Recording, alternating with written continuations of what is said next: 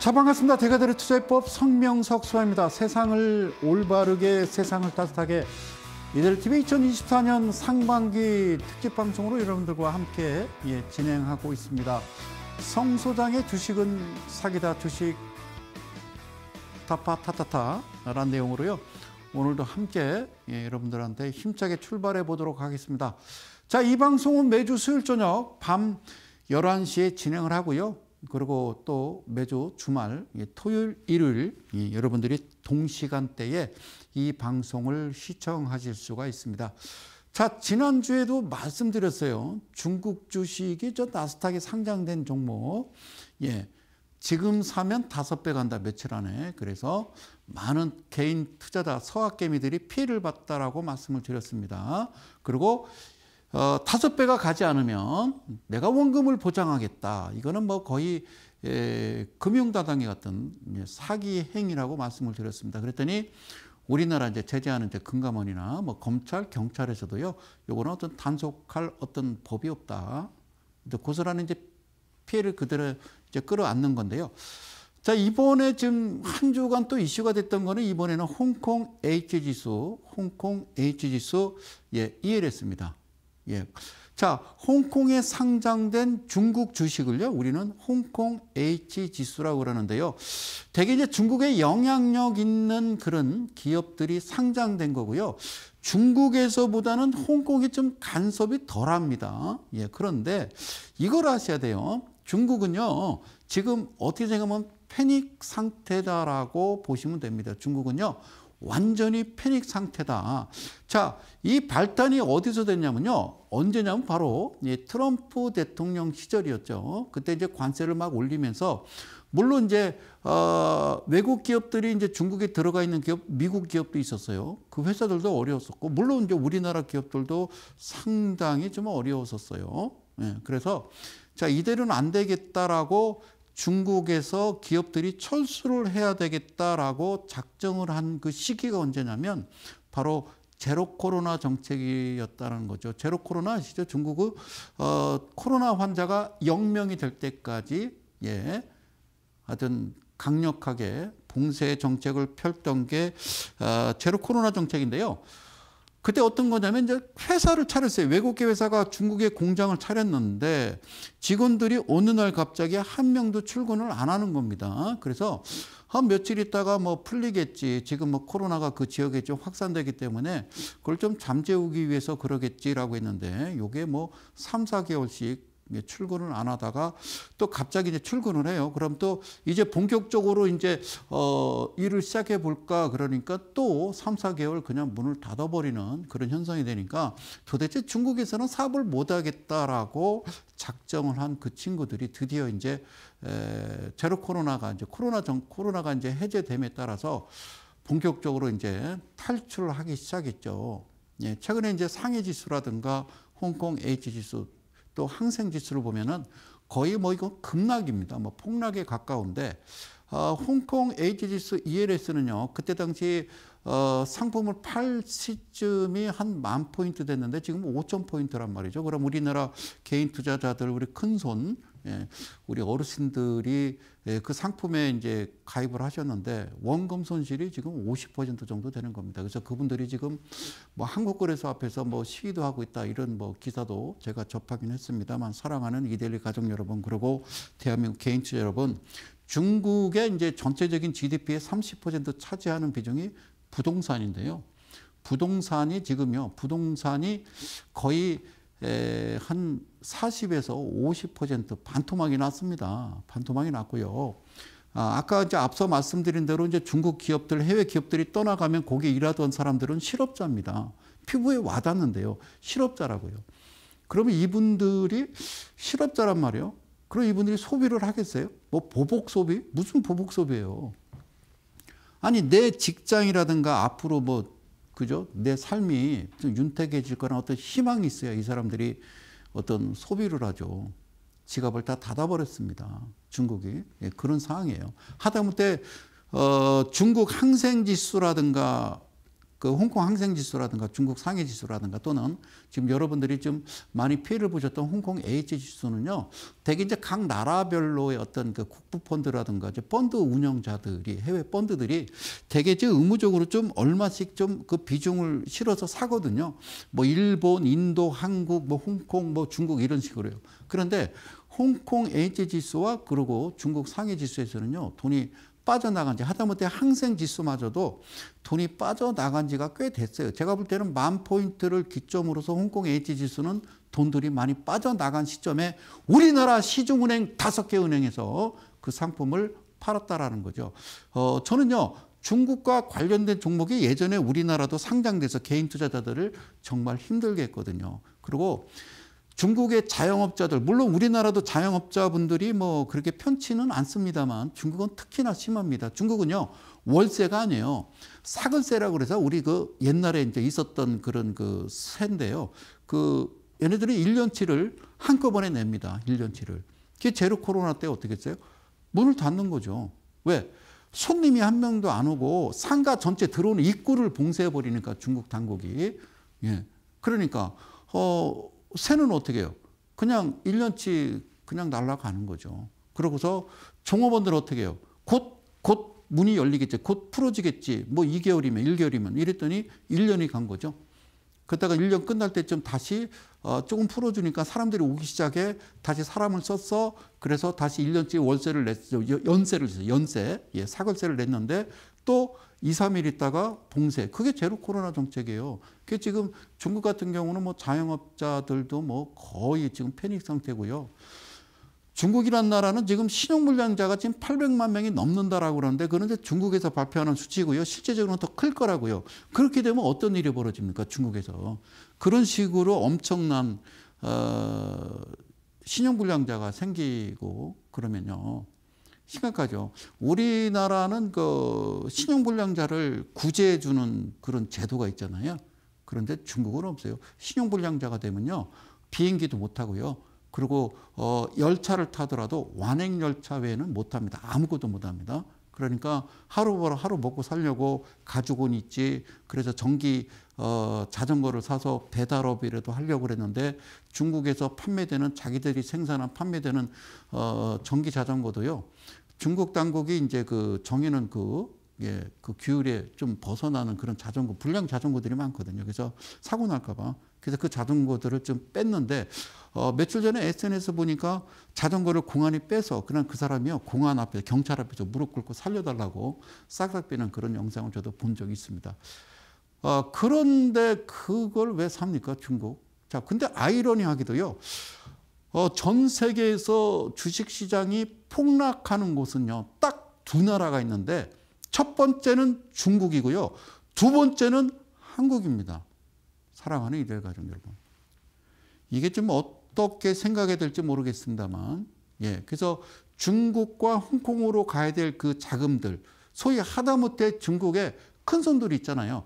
소위 한 4천만 명 정도가요. 우리나라 이재용 회장만큼 돈이 많아요. 중국은. 그래서 그 친구들조차도 어디다 투자하느냐. 그 투자 자금들이요. 인도와 일본으로 몰라가는 겁니다. 그러니까 인도 시가총액이 홍콩 항생지수를 뛰어넘었다라는 거죠. 그리고 일본 증시는요. 잃어버린 30년을 뛰어넘는 잃어버린 30년이 뛰어넘는 사상 최고치를 경신하고 있습니다. 우리는 바닥권에서 계속 지금 기고 있다라는 그런 안타까운 소식이죠. 그 말씀을 여러분들한테 드리고 싶어요. 그래서 어, 웬만하면 웬만하면 어, 해외 주식이라든가 어, 하더라도 좀 중국 주식은 좀 피하시는 게 좋고요. 중국은 어, 2008년 금융위기 때와 같은 그런 어떤 심각한 상황에 좀 처해 있다. 저는 이렇게 좀 말씀드리고 싶어요. 그렇다고 우리나라는 괜찮느냐? 뭐 좋아지겠죠. 아무래도 그죠. 아무리면 좋아지겠죠. 저는 그 말씀을 드리면서요. 자, 이 말씀을 좀 하나 좀 드리도록 할게요. 상단에요. 제가 수익 비법 대공개 그래서 무료 특별 방송 신청 방법 문자 샵 3772 예. 전문가명 성명석 전송하시면요. 매일 아침 제가 특별 무료 방송을 좀 진행을 하려고 그러니까요. 예. 문자 3772 예, 또는 예, 전문가명 예, 그렇게 해서 성명석 전송하시면요. 여기에 대한 정보는 여러분들이 보실 수가 있습니다. 그리고 지금 보시는 QR코드 찍으시면 예, 들어오는 방법을 자세하게 알려주실, 알려드릴 테니까요. 그렇게 들어오시면 됩니다. 자, 보세요. 가치라는 게 있어요. 가치. 음, 가치. 예, 주식은요, 반드시 가치라는 게 있어요. 가치 대비, 가치 대비, 예? 예, 가치 대비, 예, 가치 대비 시장에서, 예, 시장에서, 음, 시장에서, 시장가라고 했죠. 시장에서, 시장에서 어떻게 거래가 되느냐가 중요한 겁니다. 그러니까 가치가 만 원짜리인데, 만 원짜리인데, 가치가 만 원짜리인데, 시장에서 무슨 10만 원에 거래되고 있다 이러면요, 이거는요, 고평가된 거예요.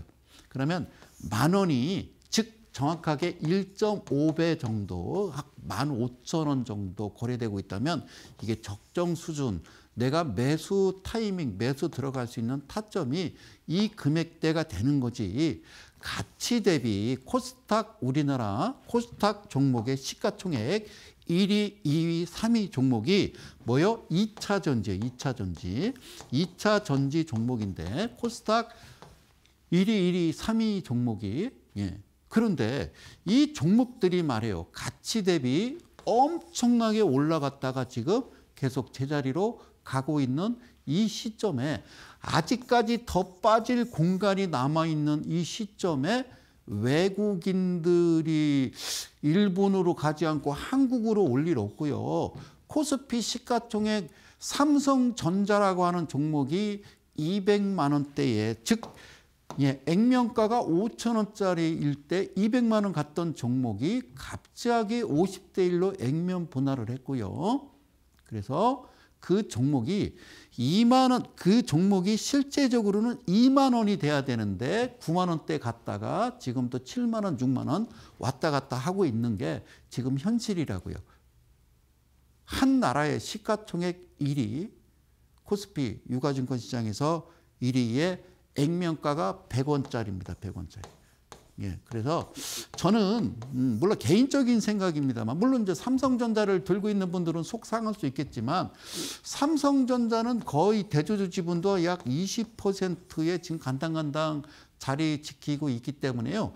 저는 개인적으로 이 종목 글쎄요. 이 종목을 보고 그다음에 코스닥 시가총액 상위 종목 2차 전지를 종목을 보고 개인 외국인들이 우리나라 시장에 들어온다. 글쎄요. 그렇 게 그렇게 희망적이지는 않다. 그래서 정상적이어야 된다라는 거예요. 시장 자체가 주식 시장 자체가 예, 주식 시장 자체가 예, 주식 시장 자체가 정상으로 돌아오기 위해서는 여러분들이 기준과 원칙을 반드시 세워야 되고 예? 그러니까 어떤 뉴스 아니면 어떤 가짜 거짓된 정보에 의해서 여러분들이 주식을 매매하게 되면 그거는 그거는 아주 풍비박산 난다. 가정 파탄 난다라는 말씀을 드리고 싶어요.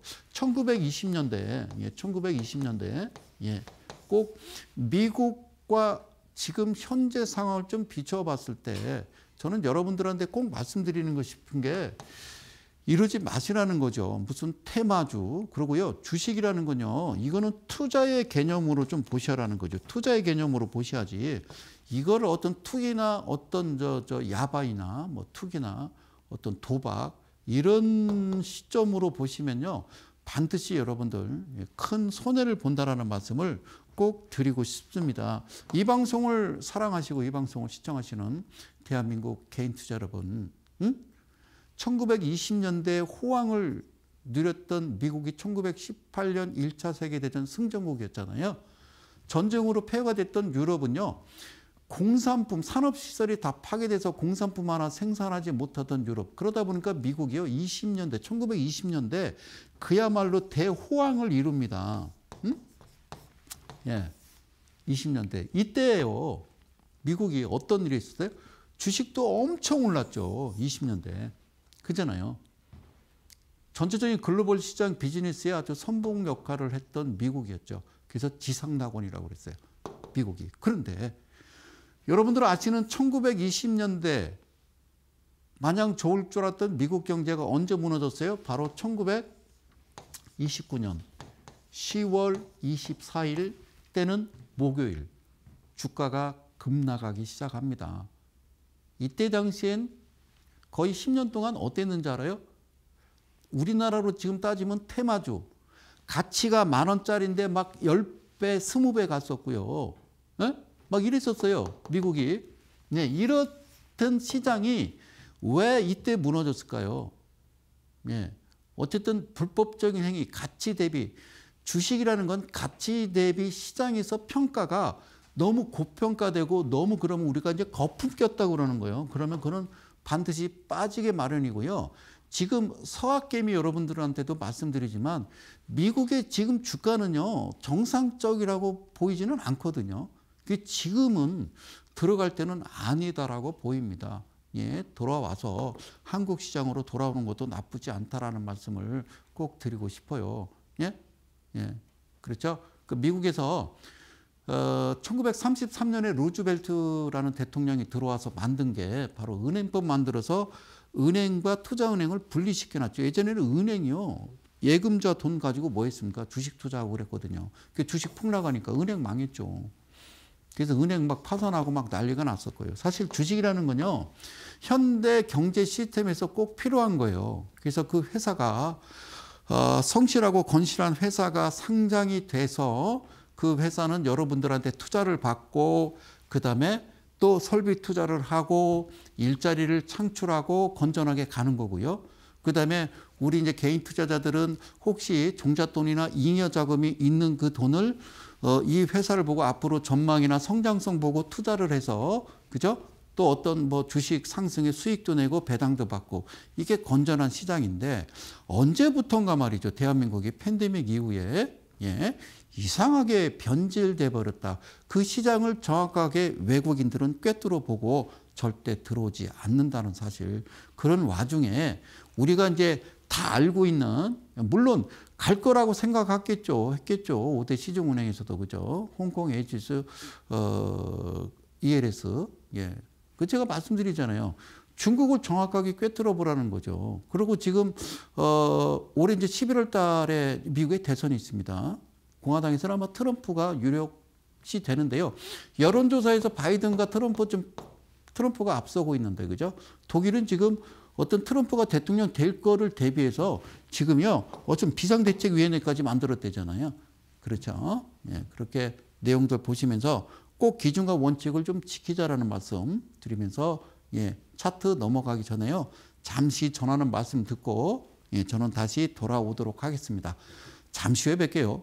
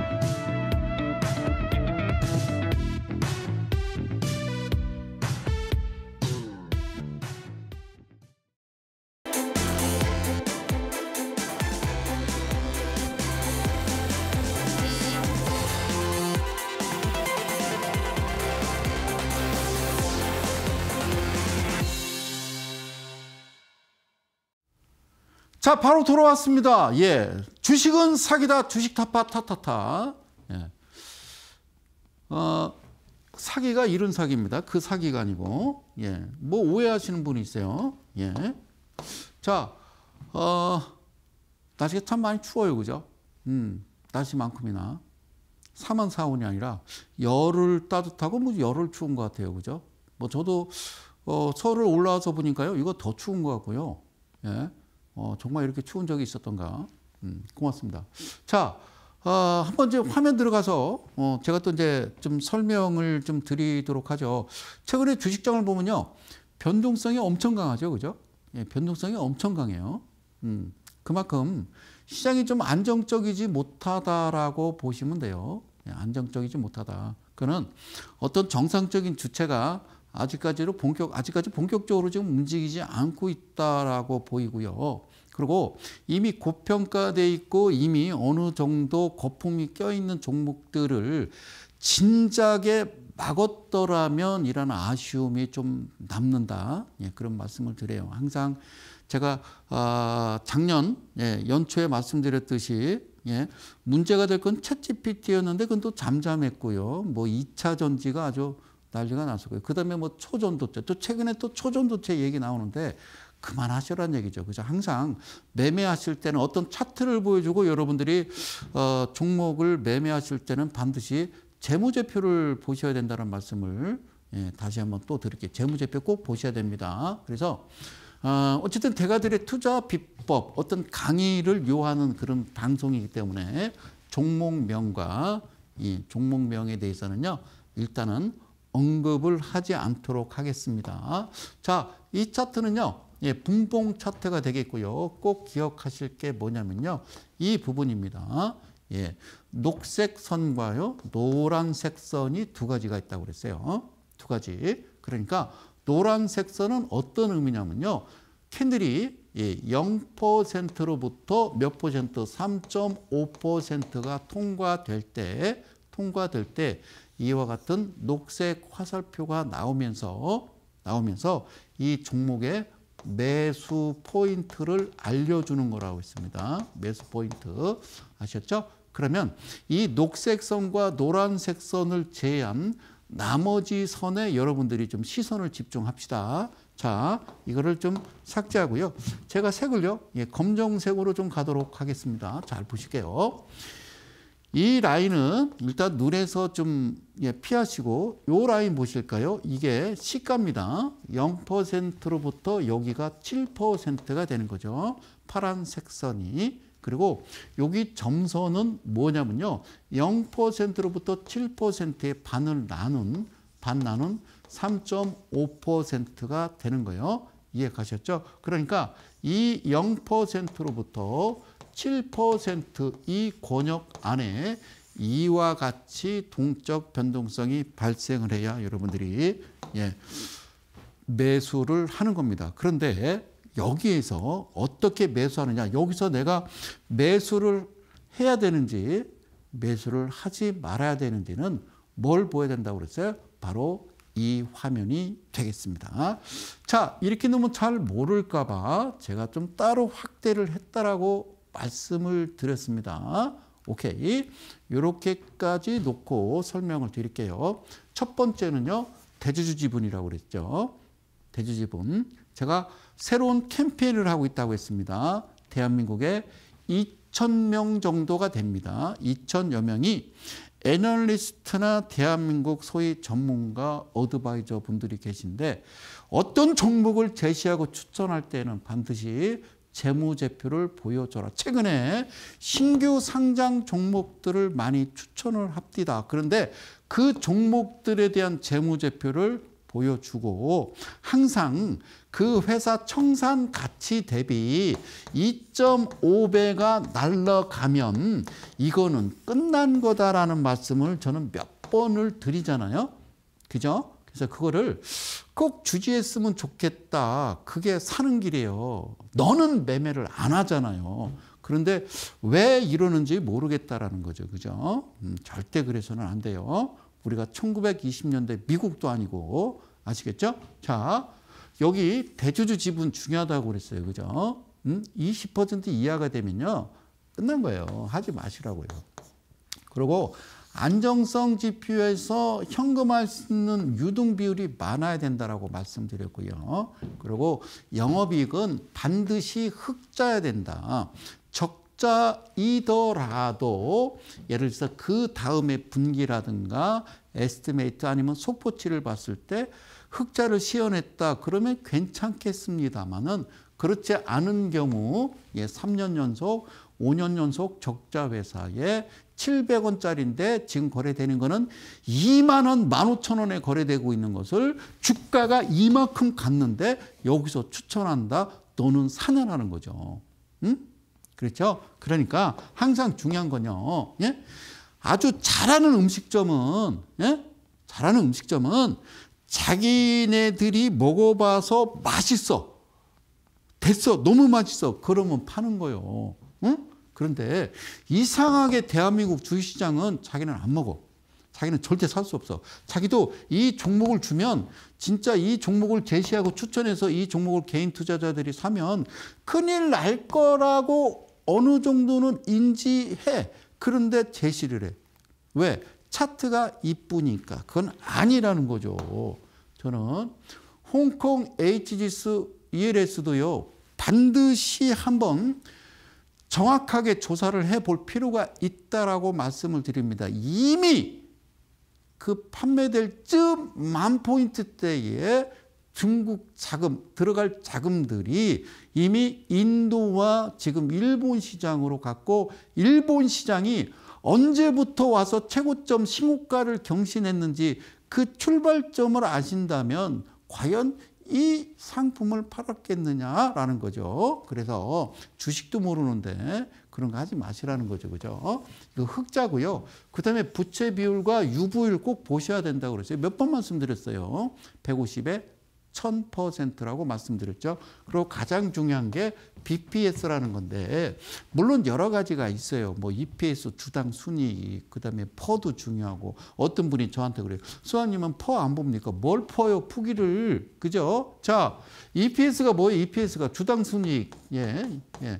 아 그냥 이렇게 쓸게 주당 네 주당 순이익 자 주당 순이익 여러분이 어떤 종목을 만 원 주고 샀어. 그럼 만 이천 원 됐어. 1년 됐는데 만 이천 원 됐어. 그럼 얼마 벌었어? 이천 원 번 거죠. 이천 원 벌었어. 그다음 주당 순이익은 뭐예요? 이천 원. 그러면 당신 본전 찾을 때 몇 년 걸려? 1년에 이천 원은 벌었어. 그럼 몇 년 걸려? 5년. 5년. 이게 이게 PER이에요. PER. 이게 퍼라고. 이게 저퍼냐 고퍼냐. 이게 무슨 상관이 있는데요. 주식하는데. 그래서 제가 이렇게 이렇게 꼽아가지고 여러분들한테 기준 원칙 잡으라고 그러는 거죠. 가장 중요한 건 이거예요, 이거. 예, 청산가치. BPS, 청산가치. 그러니까 이 회사가 나 그만할래. 예? 그만할래. 나 청산할래. 라고 했을 때, 응? 여러분들한테 돌려줄 수 있는 한 주당 가격이란 말이요. 그 예를 들어서 3,800원짜리를, 예? 청산가치 했을 때 3,800원짜리 이 회사가 지금 현 시점으로 문을 닫는다고 했을 때 네? 네, 닫는다고 했을 때 한 주의 가치가 3,800원인데 이거를 4만 원에 산다고? 네? 이거 살 사람 있으면 나와봐봐. 그 4만 원에 추천한다고? 어떻게 대한민국 주식시장의 시가총액 코스닥이 전에는 뭐 셀트리온부터 시작해서 막 바이오 관련주 막 이러다가 이 종, 그때도 그랬어요. 가치 대비 너무 많이 올라갔잖아요. 이거 꼭 기억하라고 내가 몇 번 얘기합니까? 이거 지금 내가 볼 때는 한 10년은 똑같이 얘기하는 건데 왜 제 얘기를 안 듣고 그쪽으로도 결국에는 다 풍비박산 나잖아요. 그죠? 그래서 이 금액과 이 금액은 뭐가 다른 거냐면요. 이 연도수 말고 이건 분기, 분기, 분기. 직전 분기를 제가 여기다 써놨는데 3,819원인데 시장에서 어떻게 거래되고 있다? 0.74배. 좋은 거죠. 0.74배. 원래는 원래는 이게 이게 PBR 배수가 이게 원래 PBR이에요. PBR. 예, PBR. 예, PBR 배수가 선진국 지수는 2.5배입니다. 2.5배. 예, 2.5배. 2.5배가 바닥이요. 우리는 금융위기 아시죠? 그죠? 예, 우리 IMF 예, 겪고서 그때 다 0.5배였어요. 0.5배. 0.5배에서 다 외국인들이 거기서 본격적으로 주워 담기 시작한 거잖아요. 그죠? 0.5배. 예? 그래서 우리는 대개 0.5배에서 1배 내지는 많으면 1.5배 그 내에 있는 종목들을 하셔야지 그렇지 않은 종목에서 하시면 그건 고점이거나 크게 어떤 거품이 껴있는 종목이다라고 보시는 거예요. 그럼 이 종목이 0.74배로 계산해 보면 그러니까 무슨 얘기라고 그랬어요? 3,819원을 74% 계산해서 두 배를 딱 더해 주라고 두 배를. 그럼 얼마가 나온다고 그랬어요? 여기 써 있잖아요. 5,650원이라고요. 5,650원. 그러니까 요 자체를 여러분들 우리가 아, HTS라고 그래. HTS home trading system. 이건 PC로 보시는 거잖아요. PC로. 근데 여러분들은 이게 MTS라고 그래요. 그래서 나는 처음에 MTS가 뭔가 하고 한참 이게 뭐야 하고 지금 검색을 해봤더니 mobile trading system 무슨 모바일로 trading을 합니까? 그냥 사고 팔고만 하는 거죠. 모바일로 어떻게 trading을 합니까, 여러분? 그건 아니라고요. 이거를 도박으로 보시지 말라고요. 그 미국이 그래서 대공황이 왔던 거요. 그래서 증권거래위원회가 생겼고 지금은 그럼 우리나라처럼 이상한 짓거리 하잖아요. 그러면 바로 조사 들어가서 걸리면 SG 사태도 그렇고요. 얼마 전에 그 영풍재지 사건도 그렇고요. 그게 희지부지하다 많은 게 아니라 분명 명명백백 밝혀가지고요. 40년형 그리고 그 부당 이득 다 국고로 환수시키고 그런다니까요. 근데 우리는 그냥 은근슬쩍 구름이 담 넘어가듯이 넘어가면 어쩝니까? 안 된다고요. 그러면 5,650원짜리의 이 종목이 이렇게 나왔는데 2,890원이면 thank you죠, thank you. 이게 눈에 보여야. 이게 최소 dual로는 보셔야죠. Thank you. 그러면 마음 편하게 매수하 이거 매수했잖아요. 빠지죠. 감사라니까요. 왜? 간다고요. 얘는 갈 수밖에 없잖아요. 그죠? 그러고 나서 바로 10%죠. 이거 바로 VI 발동 정적 변동성 발생하잖아요. 그 후에 어떻게 될까요? 바로 갭을 만들어 버리죠. 이 부분이 이제 갭인데요. 예, 갭을 만들어 버리고 이 신호는 매도 신호다라는 거죠. 그래서 여기서 매수해서 여기서 매도. 그러니까 어, 떤 종목이 포착이 되면 이 자체는 가만히 주가가 횡보 빠지고 횡보하다가 갑자기 이게 지금 양봉으로 그려야 돼요. 미안해요. 자, 여기서 갑자기 장대 양봉이 나오고 큰 거래량이 들어오는 거랑 마찬가지라고요. 그럼 여기서부터 나는 매매를 시작하고 이 종목을 어디에다 담아 놓는다? 관심 종목이라고 있어요. 관심 종목. 관심 종목이라고 HTS 보면 있어요. 여기다가 담아놓고 내가 관리를 하는데 휴대폰 요따만한 화면 가지고 재무제표 봐야지 관심 종목 놓고 봐야지 여러분들 이건 돈을 따라는 거예요 이르라는 거예요. 돈을 딸 수가 없다는 말씀 다시 한번 드릴게요. 그래서 여기서 여기까지는 퍼센트가 12%예요. 이거 엄청 큰 거 12%면. 아까 이제 5천 원대니까 지금 3천 원대잖아요.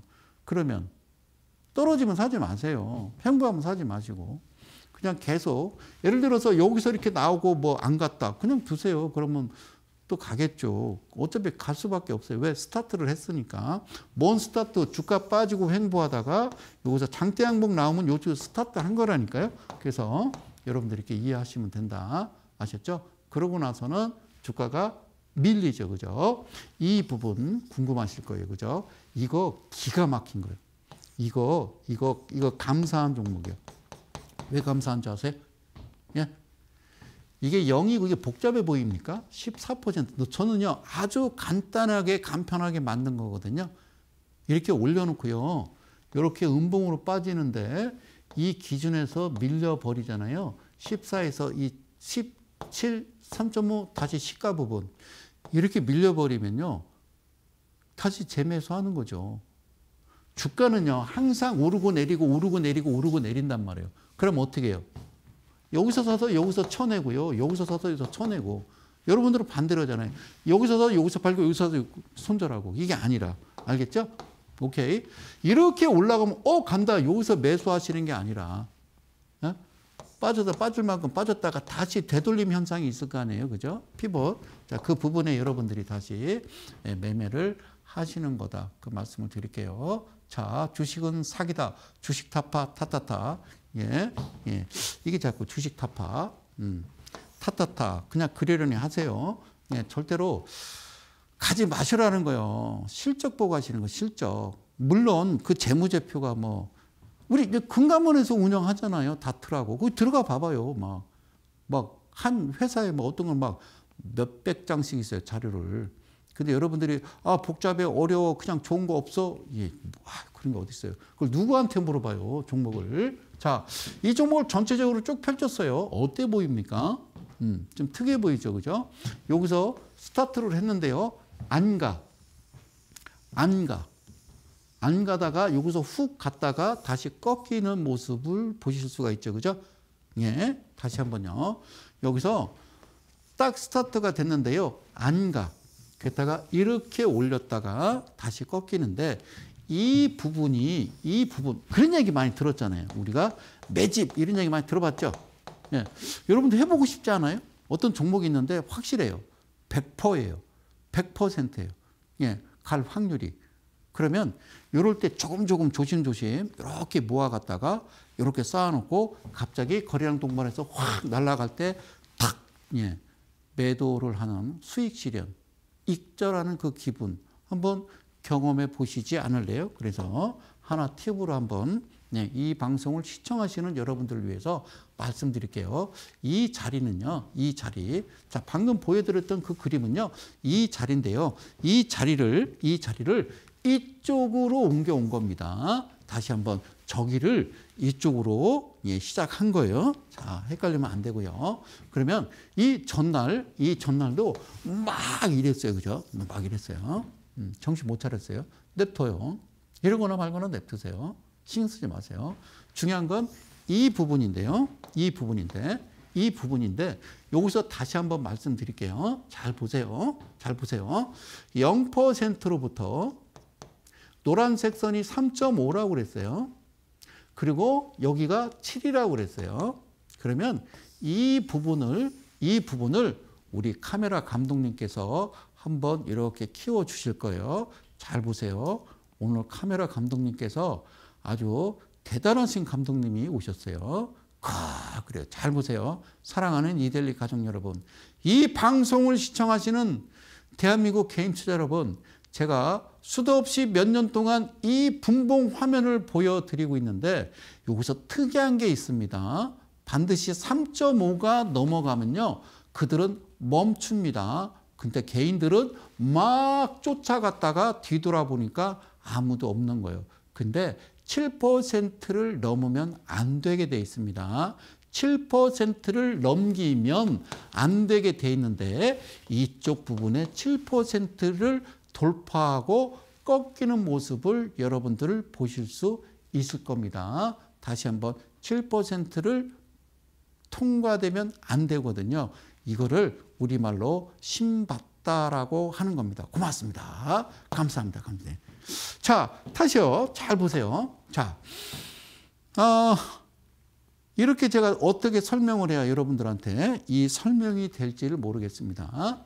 음? 음, 설명이 될지.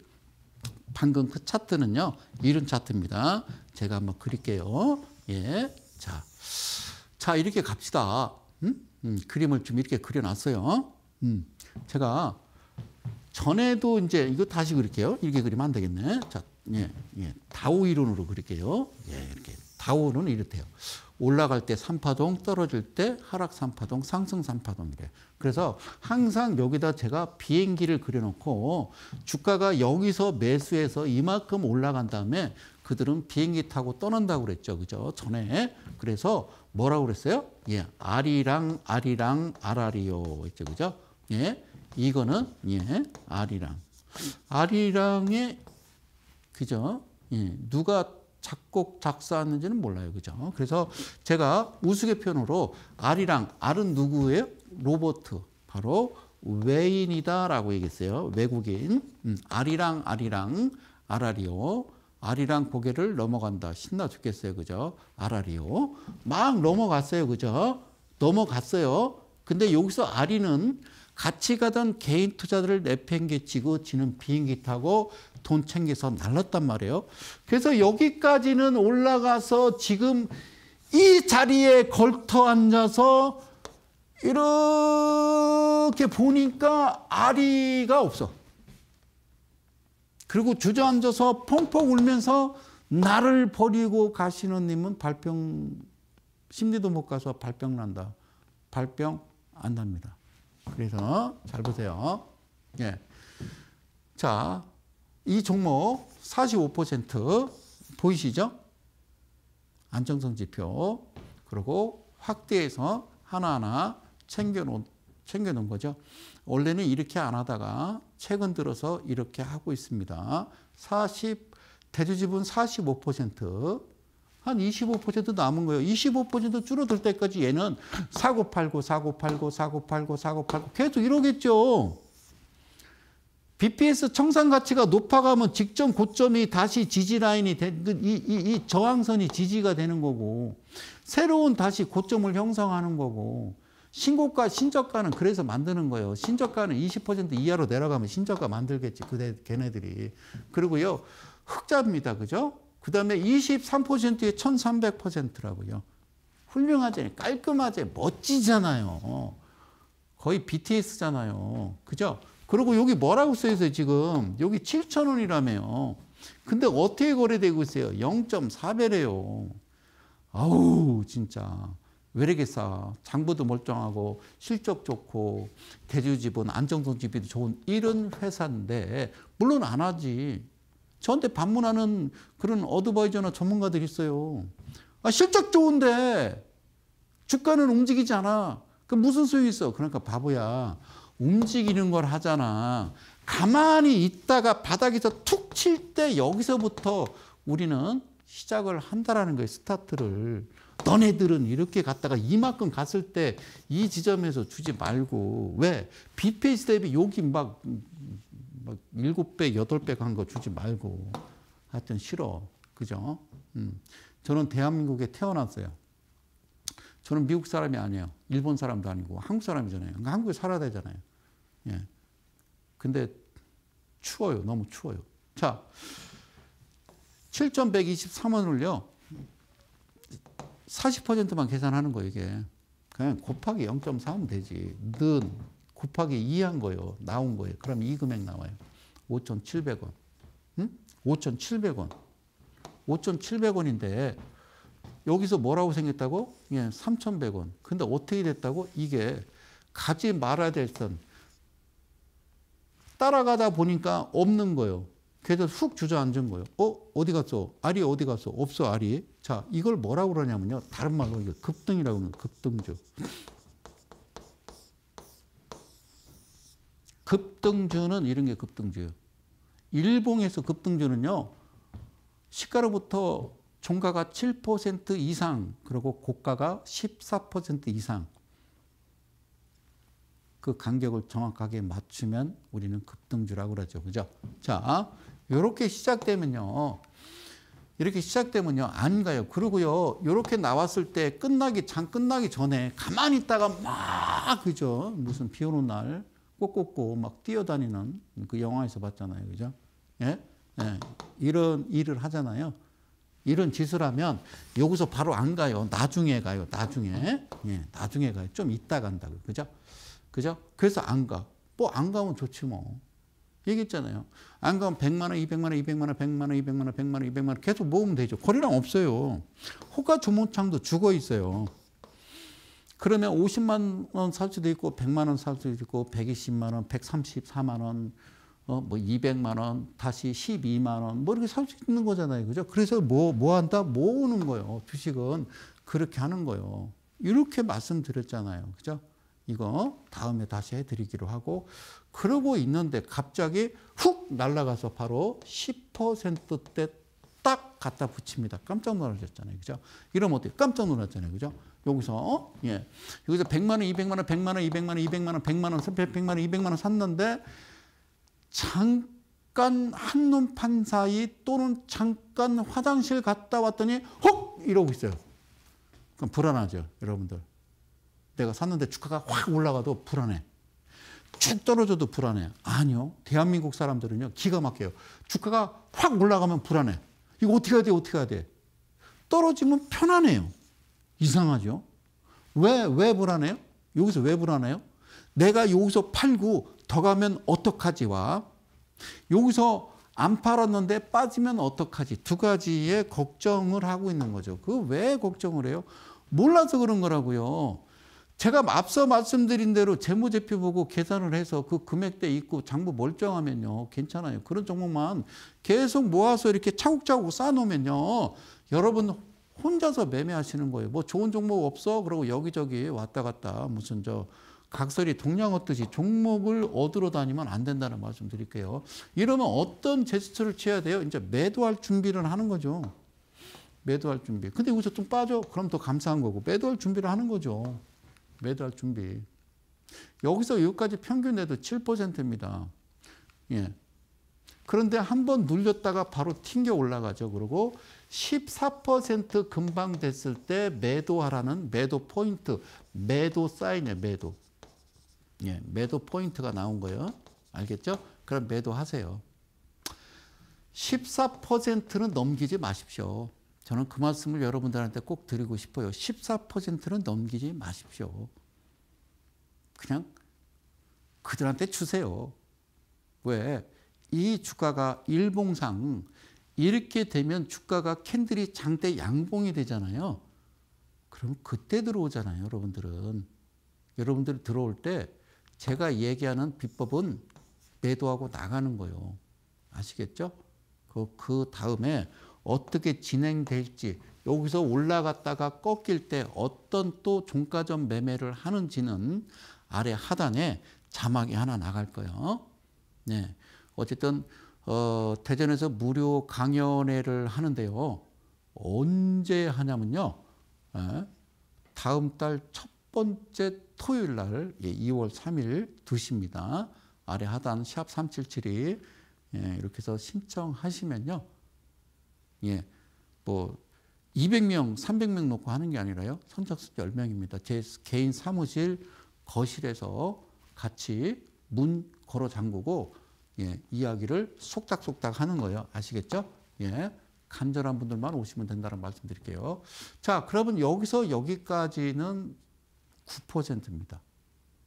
실제적으로 여기서는 9%지만 이 지점으로 계산한다 그러면 9%가 훨씬 넘겠죠. 그죠? 예, 그렇게 해서 14%에 안전하게 나오고 또 상황 지켜보고 이게 계속 반복적으로 여러분들이 이루어져야 되는 거예요. 그러고 나서 꺾이죠. 그죠? 예, 바로 이런 그림으로 꺾여 버린다. 자, 주식은 사기다. 주식 타파타타타. 자, 마지막 하나 좀 빠르게 좀 가보도록 할게요. 자, 보실게요. 얘는 어떻게 생기냐면요. 여기서 만났는데 7% 통과하지 아니하고요. 그리고 자, 다시 한번 나오죠. 3. 그러니까 한 판, 두 판, 삼세 판 나오고요. 14%의 위에 매도 신호 발생했습니다. 그러면 여기서부터 사서 모아 가야 되겠죠. 정적 10% VI 발동 나오는 순간 자 일단 매도하자 그럼 매도하겠죠. 그죠?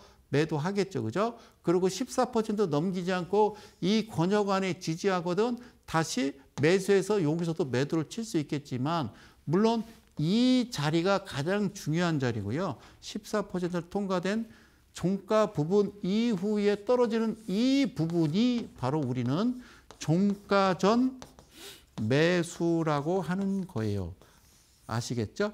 그러면 시간이 다 됐습니다. 종가 전 매수. 여기가 여기가 다시 한번 여기가 예.